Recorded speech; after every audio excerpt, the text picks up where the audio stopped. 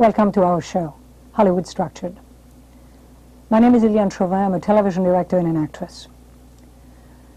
After viewing a very good show on West 57th Street a few weeks ago, which concerned itself with the arrival of hundreds of kids every day in this town, hoping to become stars or singers, and who end up as transients and drug addicts, prostitutes, because of all the misinformation that they read in magazines and in newspapers or what they see on television. I decided to remedy that. I spoke with a couple of friends of mine and decided to produce a show which would inform the parents, the educators at large, and the youngsters about what to expect and what not to expect in this town. To inform them about the pitfalls and the rewards of Hollywood very often the pitfalls of Hollywood. Having been a drama coach for the last 20 years, I've seen people come in this town, come and go. I've seen other people come and stay. I've seen other people come and succeed. Now the difference between the youngsters who arrive and end up as prostitute or drug addicts and the people who start working in the industry are twofold. One is preparation and one is expectation.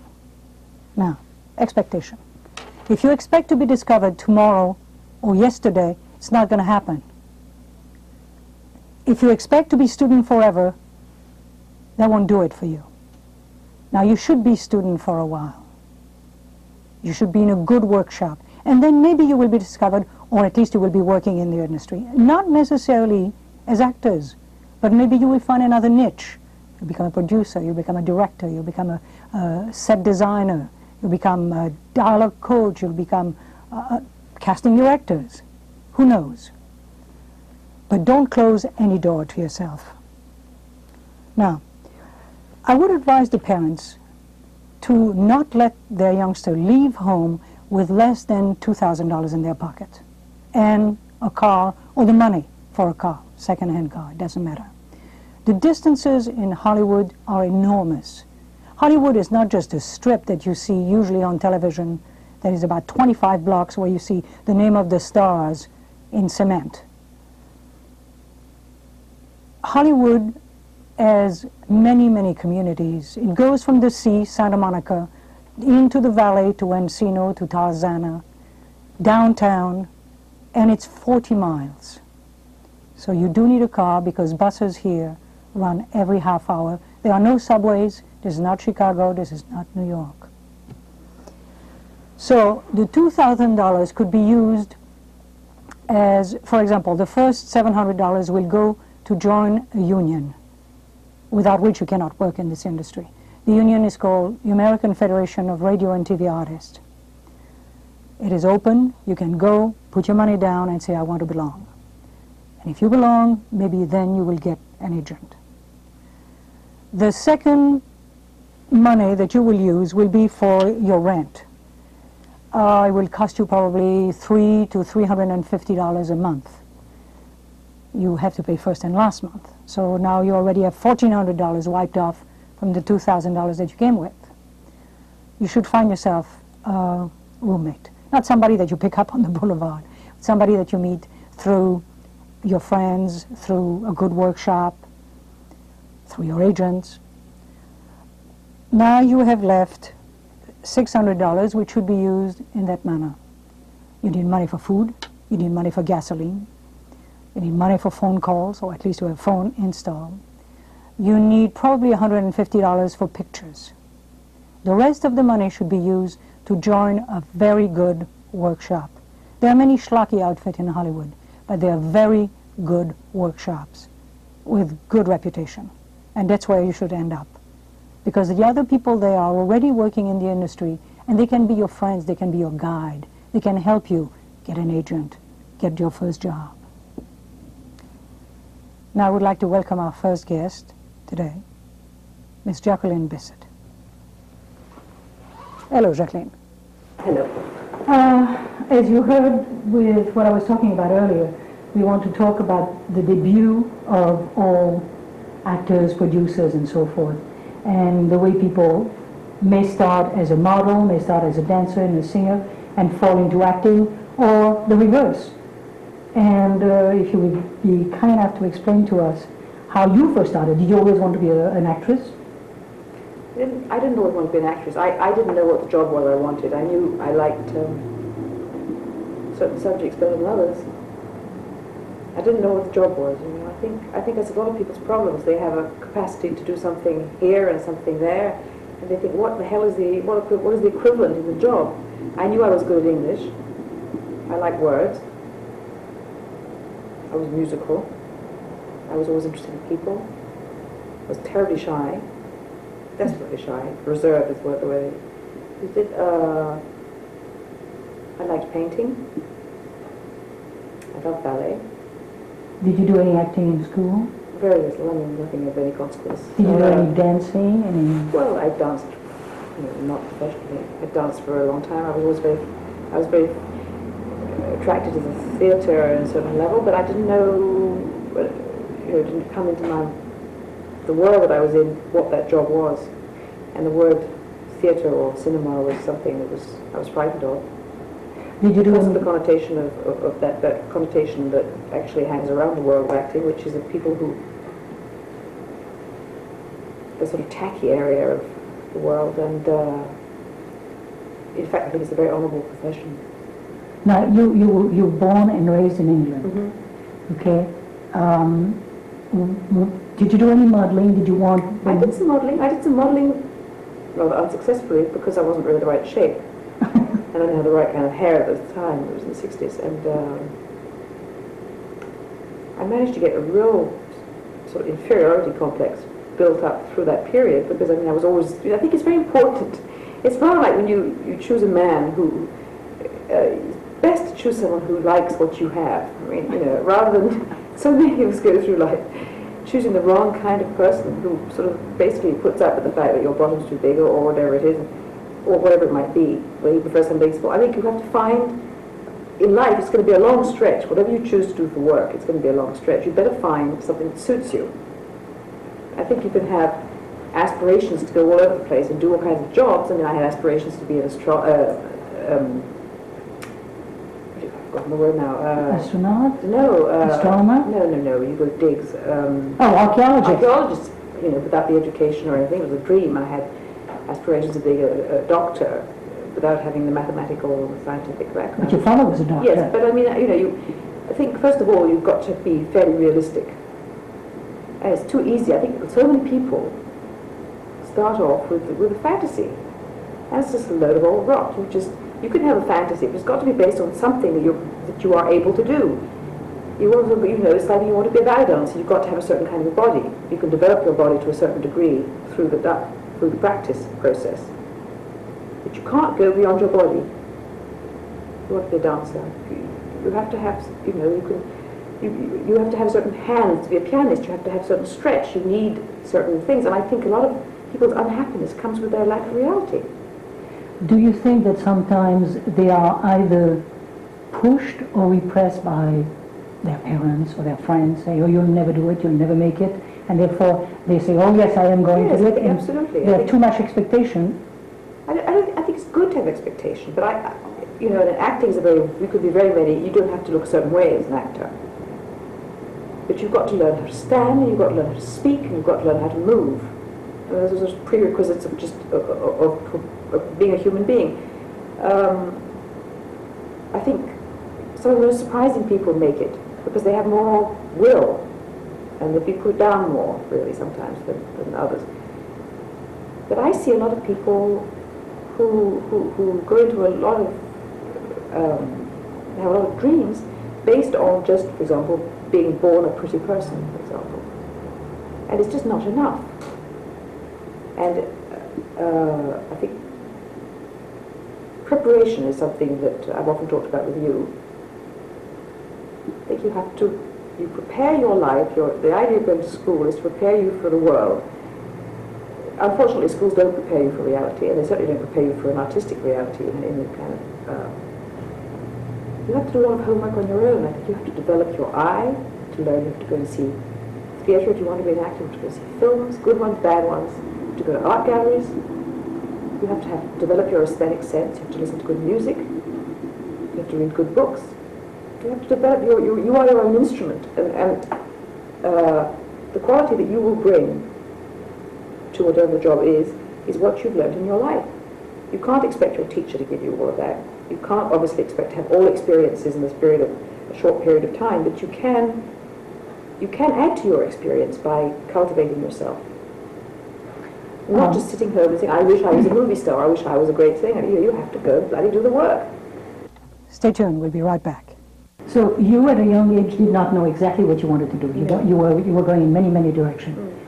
What brought you to acting and or, first of all, how many jobs did you do before you got there? How did you help yourself? Well, I started, I mean, I was at school and I uh, worked in a, as, a, as a waitress actually for a while, and uh, that made me realize how interested I was in people. First, I just accentuate. I never admitted that I wanted to be an actress. I just, it was just too, just too tacky for words, and I knew my family would hate it.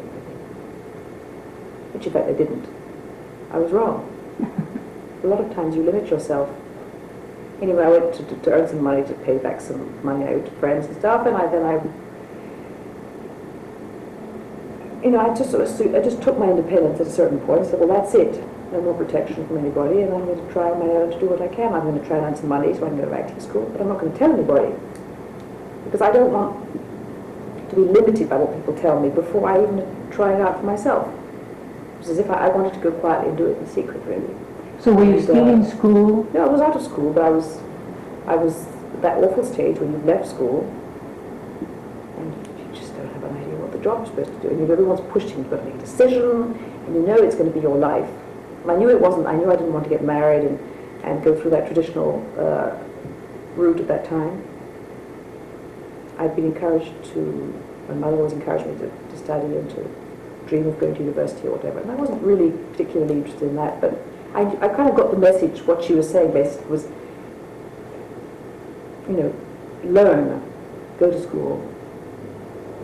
Um, So in fact you did go to then dramatic school? well, no, I didn't go to dramatic school actually. I started, I went to some classes. I had some rather horrendous classes with a very theatrical woman. This is not what I thought I wanted, definitely. But I really hadn't done a lot of dancing. Mhm. I knew how to stand for a start, and I knew to a degree how to, you know, deportment and stuff like that. I spoke pretty badly, didn't know how to breathe, Oh, I you know. see. You know.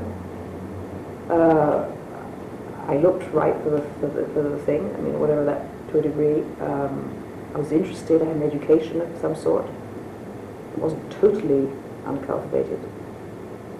But I mean, I had everything to learn, everything. But I was an avid, uh, avid learner, let's say. And um, I, I was lucky to, to hit the period in cinema that was really fascinating. It was sort of, uh, you know, the early 60s, French films, Italian films, and all that stuff. which just inspired me completely, just obsessed me. And I said, I want to be part of whatever that is. I don't know what it is, but I want to be part of it. One day I want to walk down the street like Jeanne Moreau in a film called La Notte and uh, just inspire other people. But what, doing what? She didn't actually do anything. She just was amazing. How did, uh, did your first break come actually? Well, the first break, I suppose, was uh, going up for. Well, I did a little modelling, and I walked into the Vogue office in London of uh, David Bailey, who was a very famous photographer, who was interviewing girls for a part. He wanted an unknown girl, and he was with Roman Polanski in the office, and they said simultaneously to me, "You're too fat." Simultaneously. I thought wonderful. I just, I mean, I was not gross. I was just, well, they saw this image of the skinny 60s girl, you know. I went to see a play that, I remember I went to see Son of Oblomov that night. I don't think I saw anything. I just saw images of fat. Just a diet. that They, they told me I had to go on a diet if I was going to even test, and uh, it was total humiliation. But they were willing to test you. They said they'd test me if I lost 12 pounds in about you know, 10 days. And uh, I expect I had to test twice. I didn't get the part. Thank God I didn't get the part. Could never have done the part. I was totally unprepared. And this fascinating actress called Françoise Dorléac, Oh, yes, I know. who was the sister of uh, Catherine Deneuve, she got the part, and I got a little tiny part, which was already quite enough for me to handle. And I just sat on the set. Uh, I was just mesmerized, absolutely drunk. You know, I was just in a state of complete intoxication, fascination, and uh, I said, "This is it. I know what I want to do. This is it." Said a few words, had a few nightmares, uh, went through quite a lot of humiliation, and. Um, What was the name of the movie? a cul-de-sac. Polanski's uh, like his, his third film in, when he when he did New York. And then you did Two for the Road?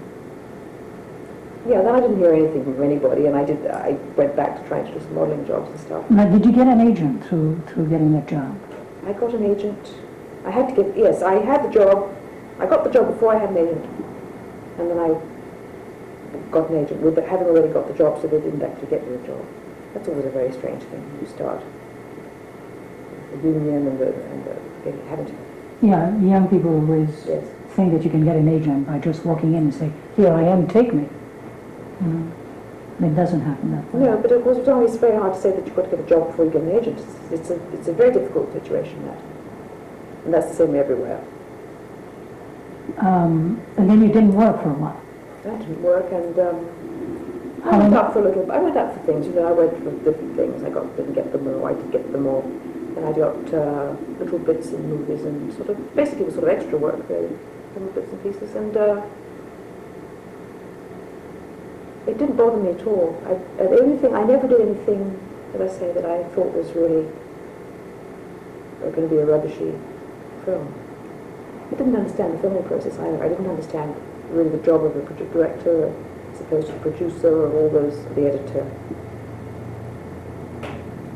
I didn't really understand the concept of a script. I didn't really know that an actor's words, somehow I thought that actors sort of said what they felt like.